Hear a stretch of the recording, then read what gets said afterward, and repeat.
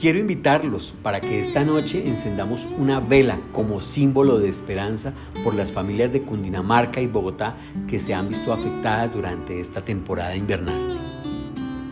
Más de 70 municipios de Cundinamarca han sufrido inundaciones, deslizamientos, movimientos en masa y desbordamiento de ríos.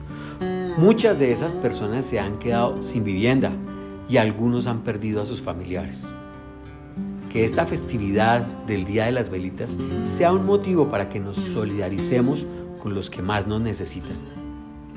Encendamos una luz para desearles paz, consuelo y tranquilidad.